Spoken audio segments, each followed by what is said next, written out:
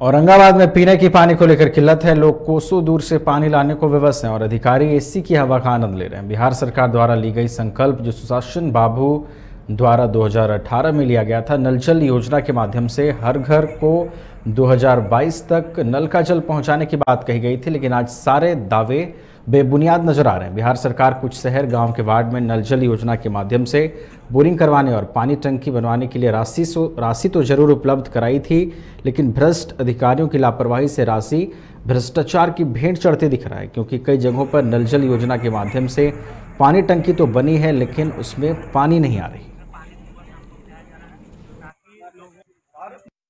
नल जल का मोटर था जल गया था चार बीस साल से?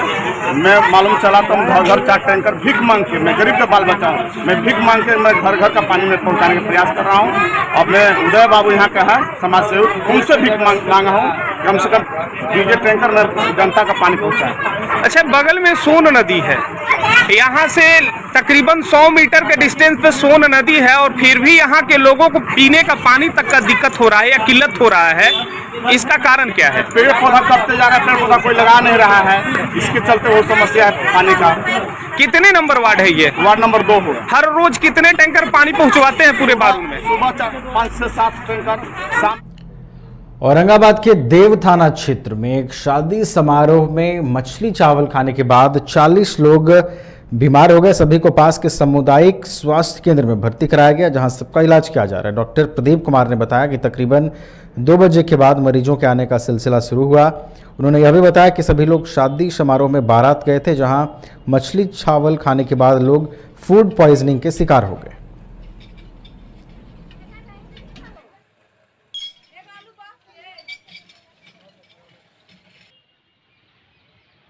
वहाँ पर जब खाना चला तो खाना में था मछली। मछली लोग बराती उराती सारा खाया। बराती खाने के बाद जो होता है ना जाने के लिए एक आध घंटा रुकने के बाद हम गाड़ी खुलवा दिए बस खुलवा दिए। बस खुलवाने के बाद जैसे ही गाँव गाँव पे पहुँचा और बस सबका तबीयत खराब होने लगा उल्टी होने लगा दर्द पेट में दर्द होने लगा।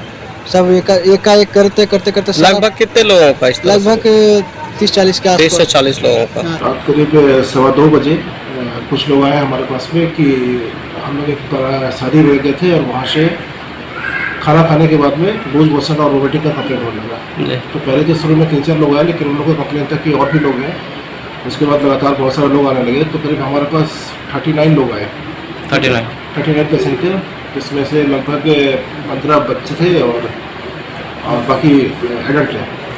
तो मेन कंप्लेन उनका था लूज मोशन का था वोमिटिंग का था साथ में सर में दर्द हो रहा था उन लोग को।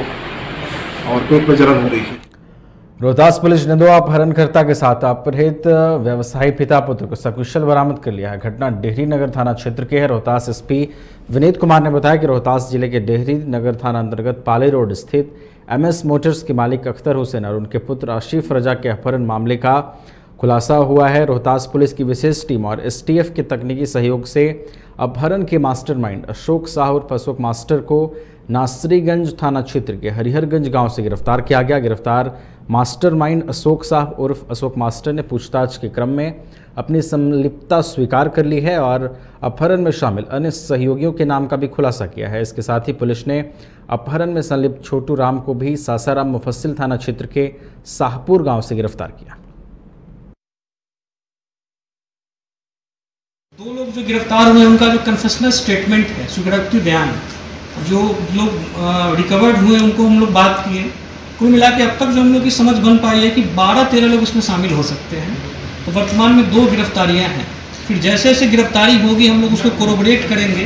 तो संभवतः हो सकता है कि और ज़्यादा हम लोग जो है अभियुक्तिकरण के नज़दीक पहुँचेंगे कि क्या इसमें अन्य लोग भी कोई शामिल हैं कि नहीं।